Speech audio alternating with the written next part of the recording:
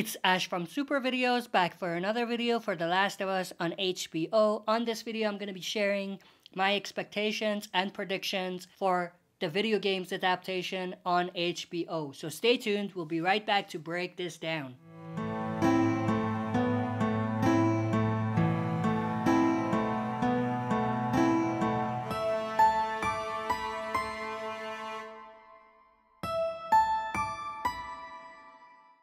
Alright, as always, before we dive into it, smash the like button, subscribe to join our community, and press the bell to be notified when I upload on the channel. With that said, let's dive right into it. So when it comes to the main storyline, I don't think that they're gonna be changing a lot. I feel like they're gonna stay true to the video game storyline as far as the Joel and Ellie story and everything surrounding that particular story. Everything we've seen in the teasers, trailers, definitely proves that they're definitely staying true to the video game storyline as far as the main story is concerned. But where I do see them changing things a little bit, or at least expanding on it a little bit, is when it comes to the apocalyptic nature of the story itself. Like the virus, like the cordyceps fungus that spread. So I'm definitely expecting to see a little bit into the origins and you know how that came about and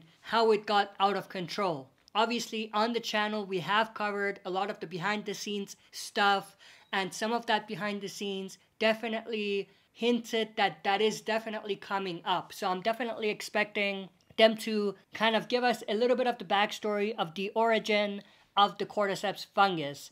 And as part of that, I'm gonna make a bold prediction and say that we might get some variation of the different types of monsters that we saw in the video game. So obviously in the video game there were the clickers, the shamblers, the bloaters, and the infected. I feel like in the TV adaptation we are gonna see a few more types of these variants that we didn't see in the video game to keep it fresh. If not that, they might change the way some of these monsters behave just to keep it fresh and different. I'm not expecting a huge difference, but I'm expecting something that they might add in to keep the two sort of separate as far as their video game counterpart and their TV show adapted counterpart. Now, honestly, I'm expecting that more with maybe the shamblers and the bloaters and less with the clickers and the infected, which were more common in the game. And obviously, we're gonna see a lot more of those in the TV adaptation as well. Now, when it comes to the characters, I am expecting them to keep Marlene and Tess stories more or less similar in the TV adaptation, but I am expecting them to expand on their characters and their backstories just a little bit. Specifically with Marlene, I feel like we're gonna get a bit more into her backstory and how she ended up being in the position that she was in at the Fireflies organization. And likewise, I feel like we're going to get a bit more backstory as far as Joel and Tess' relationship and, you know, a bit more into how they met and how their stories kind of came together. Speaking of which, another key change, which was definitely confirmed in the latest trailer, is Ellie's backstory or Ellie's past.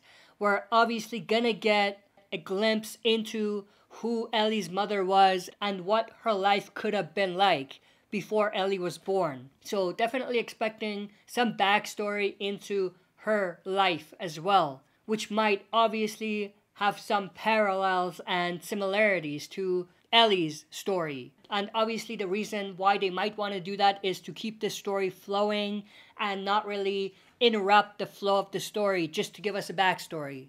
Now, another key change that we are definitely gonna see is an expansion of the story that we saw in the game with the hunters. The hunters are obviously gonna be a bigger player in the story in the TV adaptation, and we're obviously gonna get an expanded glimpse into how they came to power, and we're gonna learn about who they are and how they operate. And another thing that was teased at in the trailers is we're going to get some story about who the leader of that organization is and what their goal is and what they're really trying to achieve. Something that we obviously didn't really see in the video game itself. But aside from that, I'm not expecting any more major changes and anything else. I'm expecting them to really deliver the main story the way that it was in the video game. I'm definitely hoping and I have a feeling they are gonna do it justice and kind of give us the story that we fell in love with